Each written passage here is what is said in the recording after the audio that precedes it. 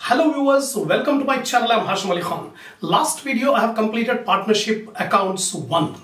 Now in this uh, second chapter, partnership accounts 2, I'm going to explain you about dissolution of firm and sale to a company. First of all, what do you mean by dissolution? Dissolution means stopping the business. That means uh, uh, uh removing the relationship of all the partners. According to Partnership Act, dissolution of partnership between all partners of a firm is called dissolution. That means the relationship between all the partners is coming to an end. The partnership is dissolved, wound up, closed. Then it implies complete breakdown of relationship of partners between all the partners. So in a partnership, the relationship of partners will be closed. Then the business of the firm comes to an end uh, firm's books of accounts are closed. This is the meaning of the term dissolution of firm. Now, uh, at the time of dissolution of firm, all the assets are realized. That means assets are sold away and the liabilities are paid off. From the money, the liabilities are paid off and the accounts of the partners are settled.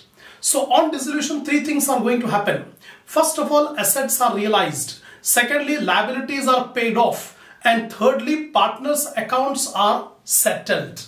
Now a partnership firm is dissolved in the following uh, five cases. In these cases the partnership firm is dissolved. First case the partners agree that the firm should be dissolved because partnership is made from an agreement. Similarly when all the partners agree when all the partners agree to dissolve the firm the partnership firm will be dissolved. Then all the partners except one will become insolvent. That means only one partner is left, the other, all other partners have become insolvent. Then automatically the partnership will be dissolved. The business come, becomes illegal. So earlier the business was legal, but due to the pa passing of a law, the business has become illegal.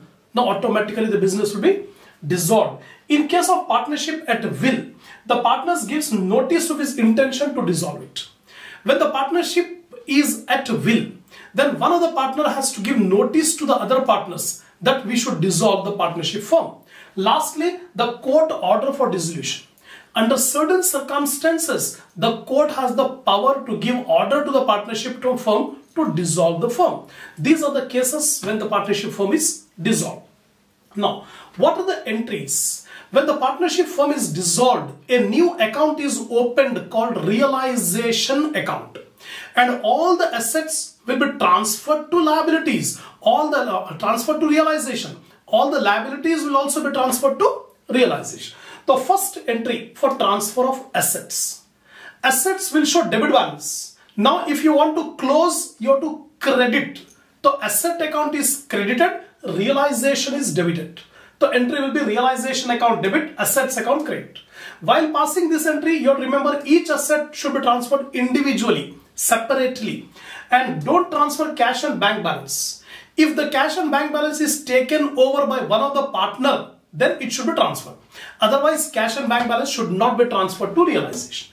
Then assets should be transferred at their book values. Book values means balance sheet values. So these points you have to remember while passing the first entry. Second entry, transfer the liabilities to realization. Liabilities will show credit balance. If you want to close, debit it. So debit liabilities, credit realization. Debit liabilities, debit provision. If any provision for doubtful debts are there, that provision should be transferred, debited. And realization account should be credited.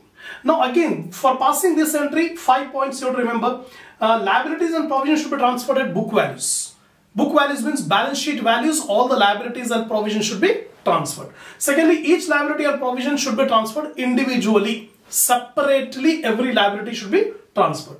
Accumulated profits like reserves or profit and loss account balance should not be transferred to realization. And loans account, current account, capital account of the partners should not be transferred to realization.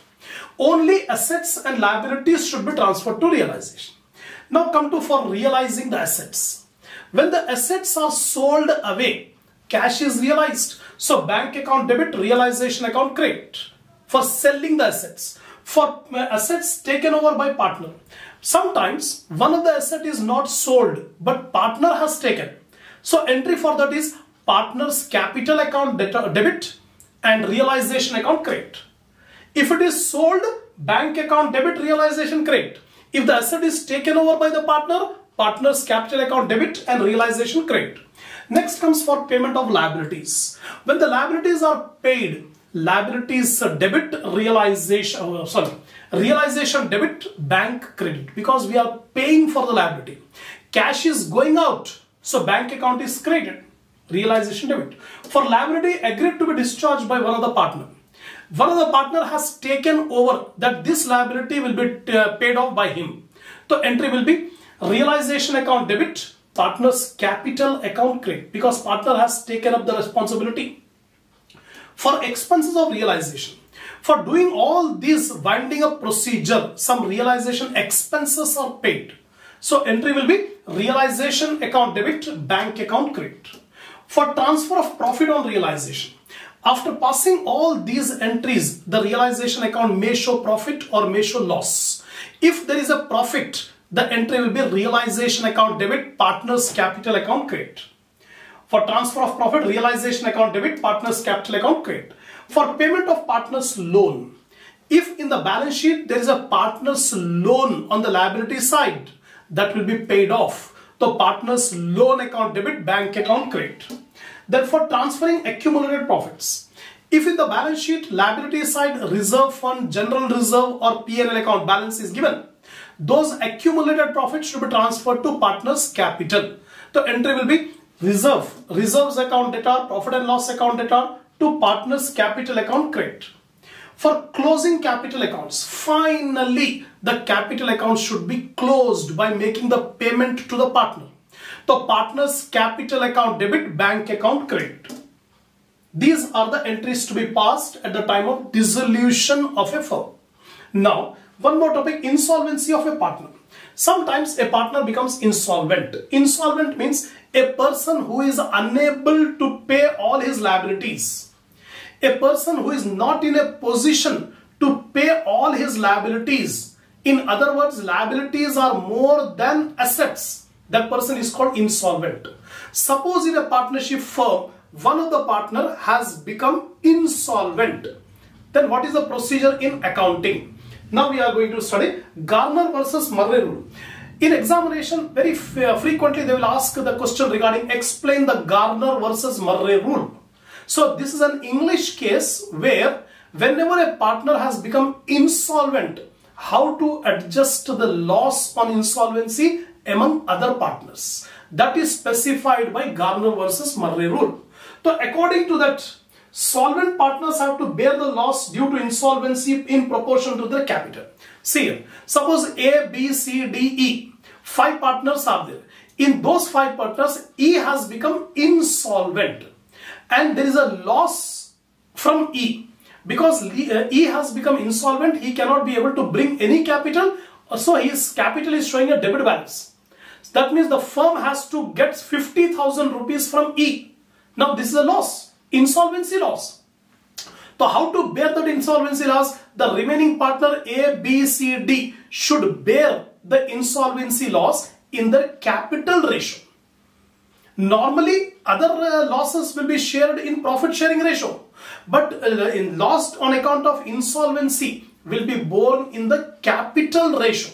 That is the provision given by Garner versus Murray rule. And uh, if any of the other solvent partners capital is showing a debit balance, then that partner should not bear. Example A, B, C, D, E. E has become insolvent and the amount due from E is 50,000. Now who has to bear A, B, C, D? These four partners have to bear the loss. But D's account is showing a debit balance.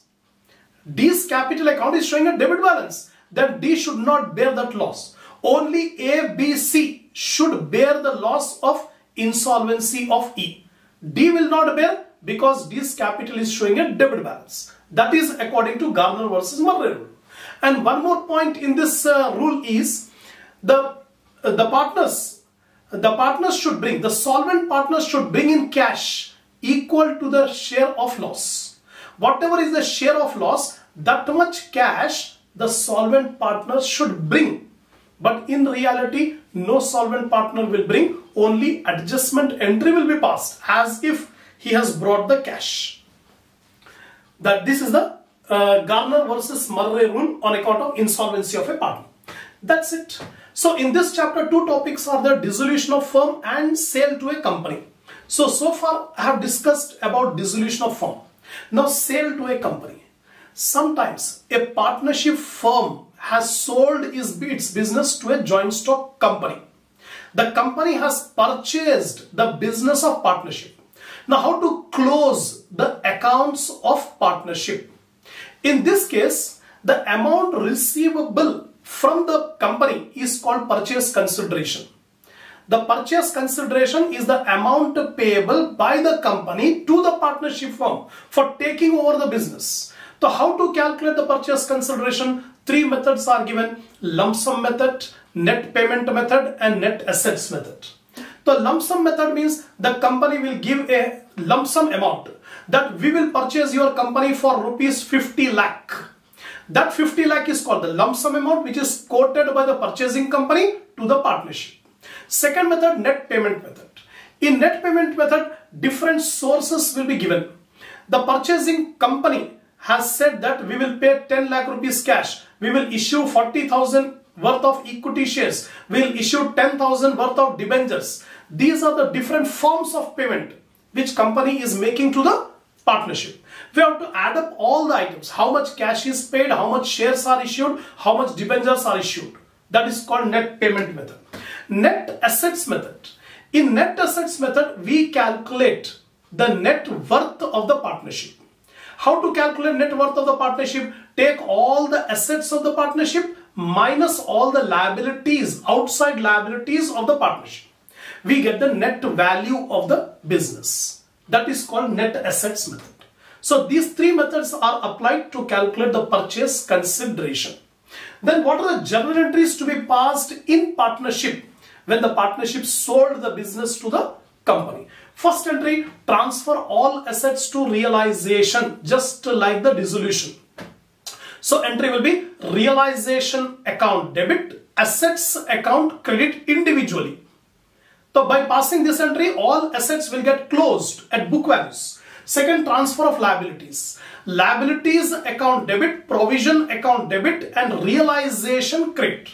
By passing this entry, liabilities will get closed, provision will get closed and we have transferred to realization. Third entry, purchase consideration due. The PC has to be received. From whom? From the company. The purchasing company account debit, realization account credit. Purchasing company debit, realization account credit. This is the third entry for purchase consideration due. Now purchase consideration received. When the purchase consideration is received, debit all the items which are received. So we have received cash, bank balance, plus equity shares in purchasing company, preference shares in purchasing company, debentures in purchasing company, all debited and purchasing company should be credited. This is the entry for PC received. Five and four entries are over. Fifth entry, sale of assets not taken over by the purchasing company. Some of the assets of the partnership are not purchased, not taken over by purchasing company. Then these assets will be sold in the market. So entry will be bank account debit realization credit. Similarly, for payment of liabilities not taken over by the purchasing company, some of the liabilities are not taken over by the purchasing company. Then in that case, the entry will be realization account debit bank account credit. For payment of realization expenses, if in the problem realization expenses are given, so entry realization account debit bank account credit. Then profit on realization. After passing all these entries, we have to find out whether profit or loss on realization. If there is profit, realization account debit, then uh, partners capital account credit.